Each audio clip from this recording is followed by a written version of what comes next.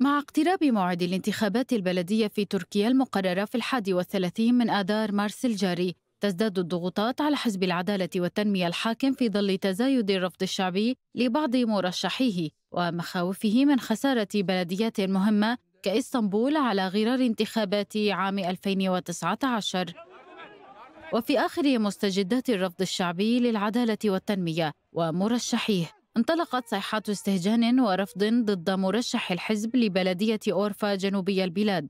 علي إحسان أوغلو خلال تقديم رئيس النظام رجب أردوغان له خلال تجمع شعبي في إحدى ساحات المدينة.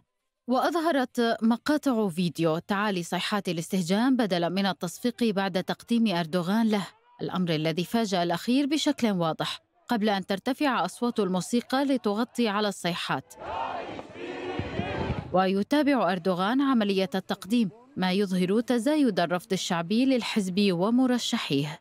وأرجعت وسائل إعلام تركية الرفض والاستهجان الشعبي لمرشح العدالة والتنمية لمواقفه وتصريحاته التي توصف بالتحريضية ضد المرشحين الآخرين وموقفه من الفلاحين في المنطقة.